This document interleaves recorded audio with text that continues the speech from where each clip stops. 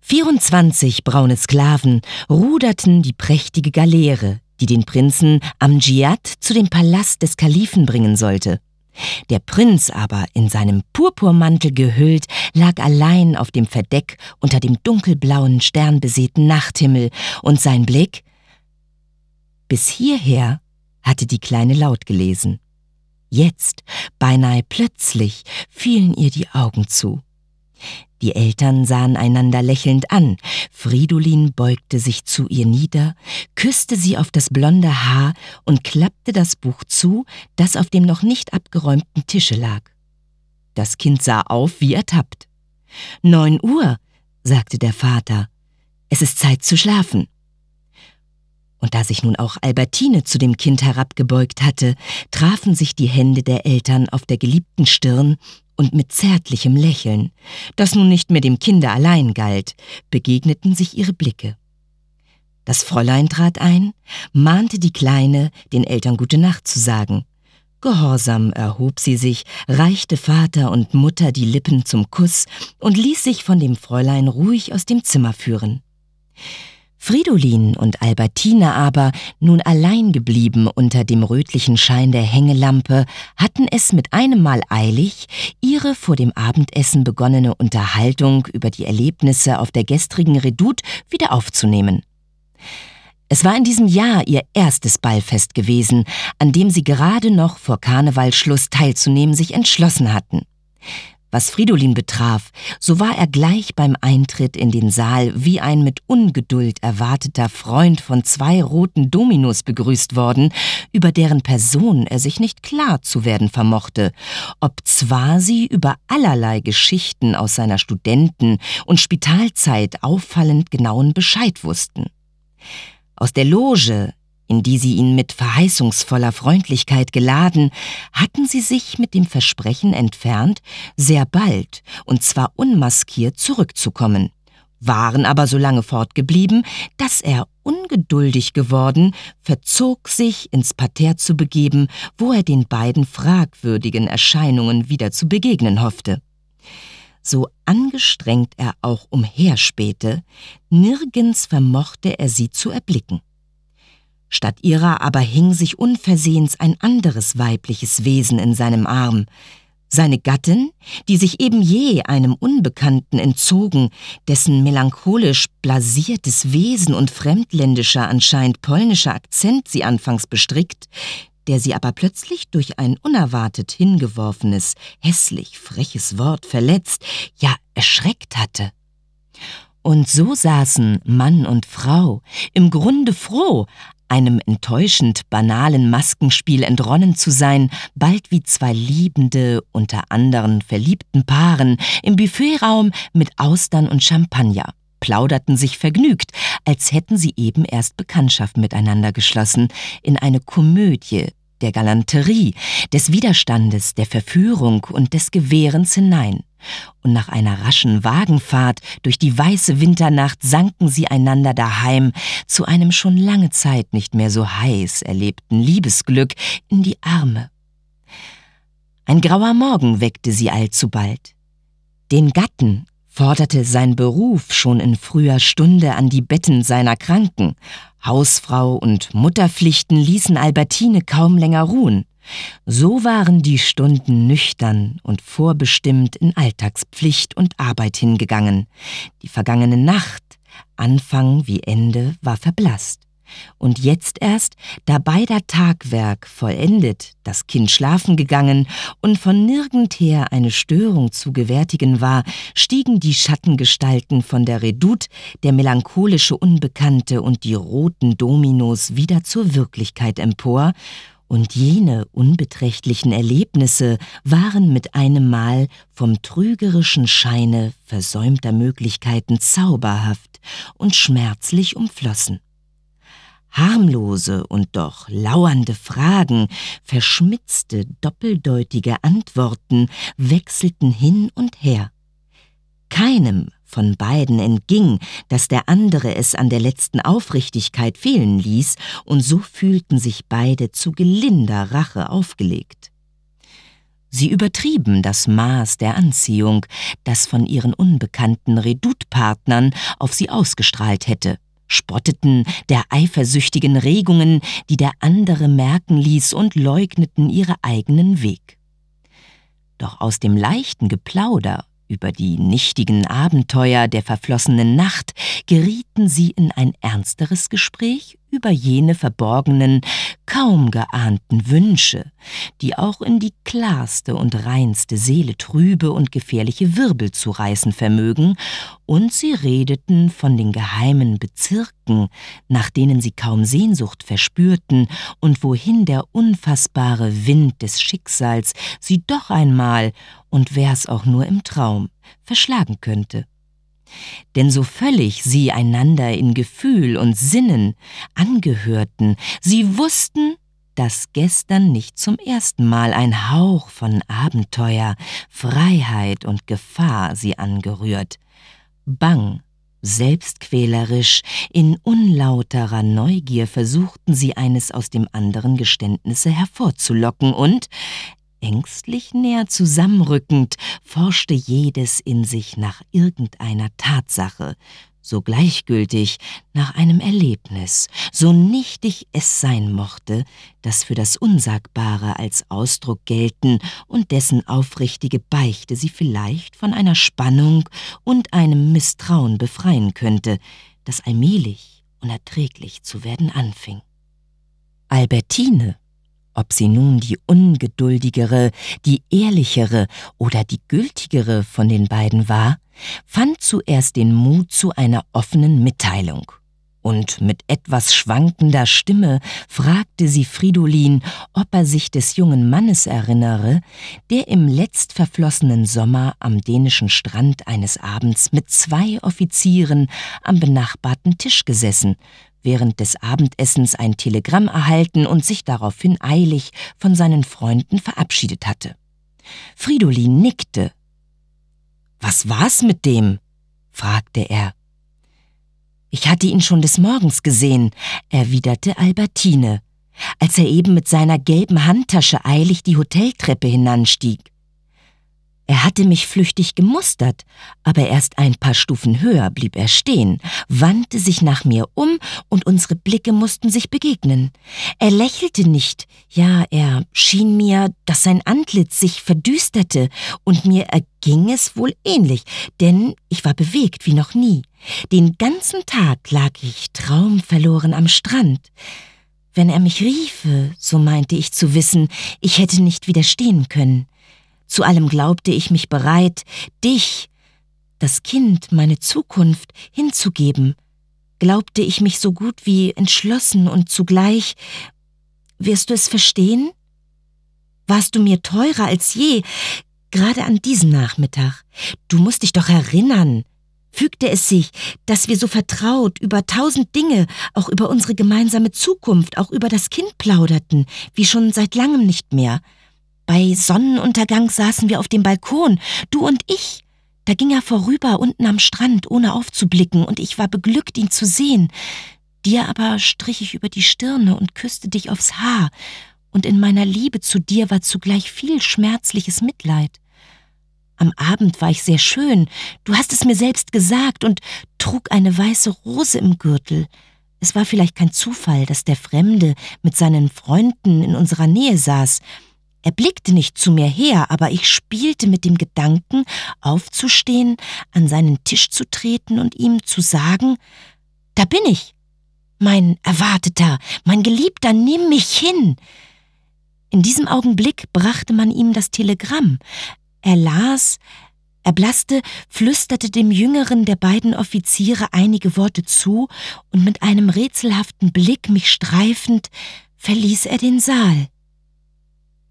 Ja und? fragte Fridolin trocken, als sie schwieg. Ja nichts weiter. Ich weiß nur, dass ich am nächsten Morgen mit einer gewissen Bangigkeit erwachte, wovor mir mehr bangte, ob davor, dass er abgereist oder davor, dass er noch da sein könnte. Das weiß ich nicht, das habe ich auch damals nicht gewusst. Doch als er auch mittags verschwunden blieb, atmete ich auf, fragte mich nicht weiter. Fridolin, ich habe dir die ganze Wahrheit gesagt. Und auch du hast an jenem Strand irgendetwas erlebt. Ich weiß es. Fridolin erhob sich, ging ein paar Mal im Zimmer auf und ab, dann sagte er, Du hast recht. Er stand am Fenster, das Antlitz im Dunkel. Des Morgens, begann er mit verschleierter, etwas feindseliger Stimme, manchmal sehr früh noch, ehe du aufgestanden warst, pflegte ich längs des Ufers dahin zu wandern, über den Ort hinaus, und so früh es war, immer lag schon die Sonne hell und stark über dem Meer. Da draußen am Strand gab es kleine Landhäuser, wie du weißt, die jedes dastanden eine kleine Welt für sich, manche mit umplankten Gärten, manche auch nur von Wald umgeben, und die Badehütten waren von den Häusern durch die Landstraße und ein Stück Strand getrennt. Kaum, dass ich je in so früher Stunde Menschen begegnete, und Badende waren überhaupt niemals zu sehen.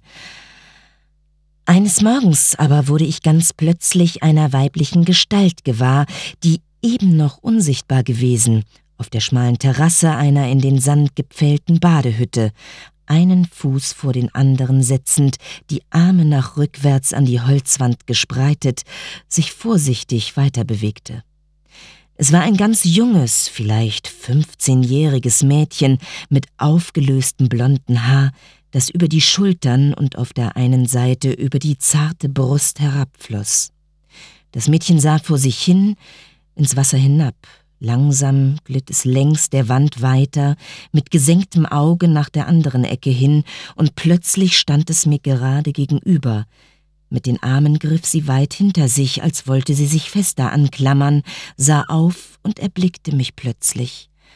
Ein Zittern ging durch ihren Leib, als müsste sie sinken oder fliehen, da sie auf dem schmalen Brett sich doch nur ganz langsam hätte weiter bewegen können, entschloss sie sich innezuhalten und stand nun da.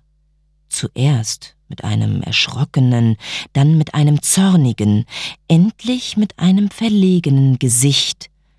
Mit einem Mal aber lächelte sie, lächelte wunderbar. Es war ein Grüßen, ja, ein Winken in ihren Augen und zugleich ein leiser Spott, mit dem sie ganz flüchtig zu ihren Füßen das Wasser streifte, das mich von ihr trennte. Dann reckte sie den jungen, schlanken Körper hoch, wie ihrer Schönheit froh, und wie leicht zu merken war, durch den Glanz meines Blickes, den sie auf sich fühlte, stolz und süß erregt. So standen wir uns gegenüber, vielleicht zehn Sekunden lang, mit halboffenen Lippen und flimmernden Augen. Unwillkürlich breitete ich meine Arme nach ihr aus. Hingebung und Freude war in ihrem Blick.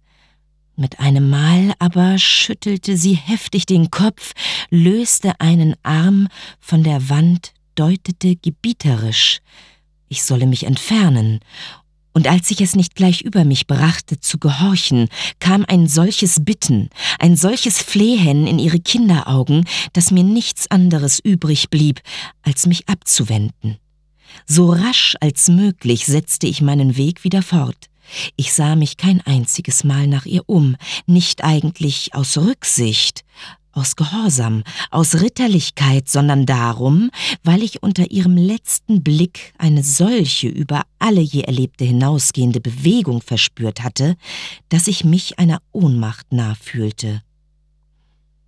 Und er schwieg. Und wie oft? fragte Albertine vor sich hinsehend und ohne jede Betonung. Bist du nachher noch denselben Weg gegangen? Was ich dir erzählt habe, erwiderte Fridolin, ereignete sich zufällig am letzten Tag unseres Aufenthaltes in Dänemark. Auch ich weiß nicht, was unter anderen Umständen geworden wäre. Frag auch du nicht weiter, Albertine. Er stand immer noch am Fenster, unbeweglich. Albertine erhob sich, trat auf ihn zu, ihr Auge war feucht und dunkel, leicht gerunzelt die Stirn. Wir wollen einander solche Dinge künftig hin immer gleich erzählen, sagte sie. Er nickte stumm. Versprich's mir. Er zog sie an sich. Weißt du das nicht? fragte er. Aber seine Stimme klang immer noch hart.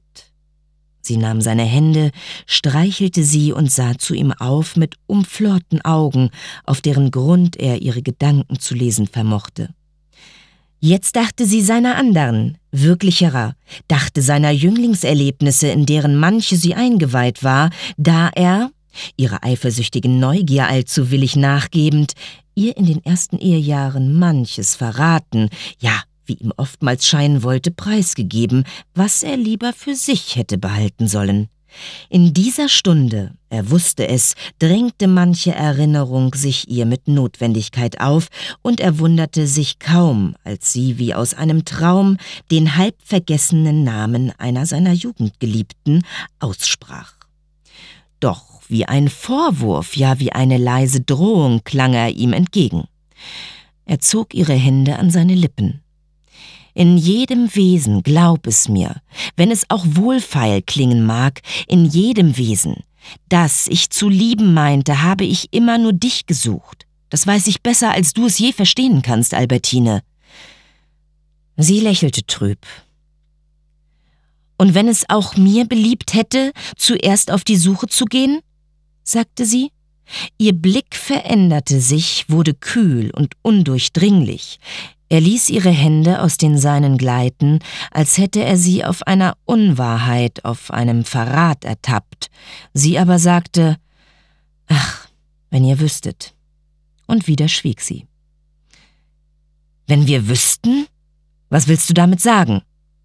Mit seltsamer Härte erwiderte sie, Ungefähr, was du dir denkst, mein Lieber.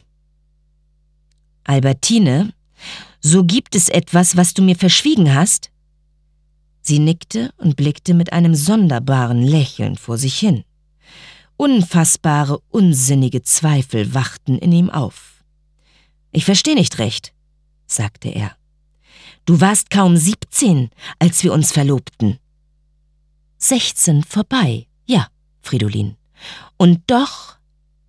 Sie sah ihm hell in die Augen. Lag es nicht an mir, dass ich noch jungfräulich deine Gattin wurde? Albertine! Und sie erzählte, es war am Wörthersee, ganz kurz vor unserer Verlobung, Fridolin. Da stand an einem schönen Sommerabend ein sehr hübscher junger Mensch an meinem Fenster, das auf die große, weite Wiese hinaussah. Wir plauderten miteinander. Und ich dachte im Laufe dieser Unterhaltung, ja höre nur, was ich dachte, was ist das doch für ein lieber, entzückender junger Mensch. Er müsste jetzt nur ein Wort sprechen, freilich. Das Richtige müsste es sein. So käme ich zu ihm hinaus auf die Wiese und spazierte mit ihm, wohin es ihm beliebte. In den Wald vielleicht. Oder schöner noch wäre es, wir führen im Kahn zusammen in den See hinaus, und er könnte von mir in dieser Nacht alles haben, was er nur verlangte. Tja, das dachte ich mir. Aber er sprach das Wort nicht aus. Der entzückende junge Mensch, er küsste nur zart meine Hand, und am Morgen darauf fragte er mich, ob ich seine Frau werden wollte, und ich sagte ja. Fridolin ließ unmutig ihre Hand los. Und wenn an jenem Abend, sagte er dann, zufällig ein anderer an deinem Fenster gestanden hätte, und ihm wäre das richtige Wort eingefallen, zum Beispiel.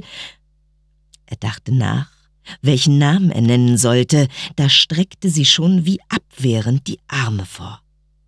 Ein anderer, wer immer es gewesen wäre, er hätte sagen können, was er wollte, es hätte ihm wenig geholfen. Und wärst nicht du es gewesen, der vor dem Fenster stand, sie lächelte zu ihm auf, dann wäre wohl auch der Sommerabend nicht so schön gewesen. Er verzog spöttisch den Mund. So sagst du in diesem Augenblick, so glaubst du vielleicht in diesem Augenblick, aber es klopfte. Das Dienstmädchen trat ein und meldete, die Hausbesorgerin aus der Schreivogelgasse sei da den Herrn Doktor zum Hofrat zu holen, dem es wieder sehr schlecht gehe. Fridolin begab sich ins Vorzimmer, erfuhr von der Botin, dass der Hofrat einen Herzanfall erlitten und sich sehr übel befinde, und er versprach, unverzüglich hinzukommen. Du willst fort? fragte ihn Albertine, als er sich rasch zum Fortgehen bereit machte, so ärgerlichen Tons, als füge er ihr mit Vorbedacht ein Unrecht zu. Fridolin erwiderte, beinahe verwundert, ja, ich muss wohl. Sie seufzte leicht. Es wird hoffentlich nicht so schlimm sein, sagte Fridolin.